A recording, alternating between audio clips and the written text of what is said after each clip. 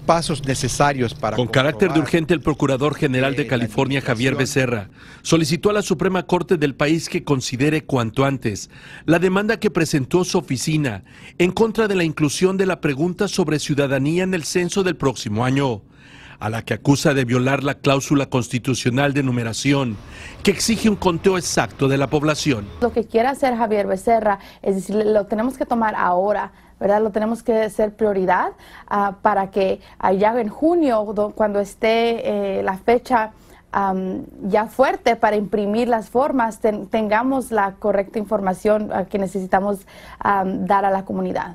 Legalmente es obligatorio responder con la verdad los cuestionarios del censo, lo que pone en un dilema a muchos inmigrantes. Este reciente estudio de la Universidad de California en Los Ángeles comprobó que las familias inmigrantes viven desconfiadas de dar información por miedo a la deportación.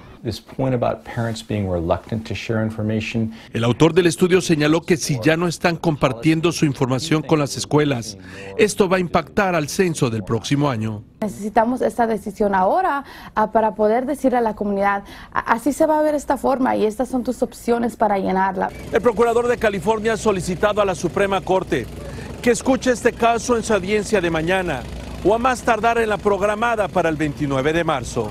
El riesgo es que de no haber una decisión final de la Suprema Corte antes de junio, el Departamento de Comercio no imprimirá las formas del cuestionario hasta que haya una decisión final, lo que pone en peligro los fondos federales y la representación política que se ganan a través del censo. Voy a dar el ejemplo de uh, Alexandria Ocasio Cortés de Nueva York.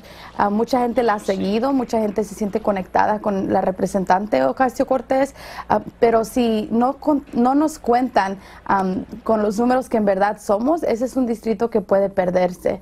En Los Ángeles, Jaime García, Univisión.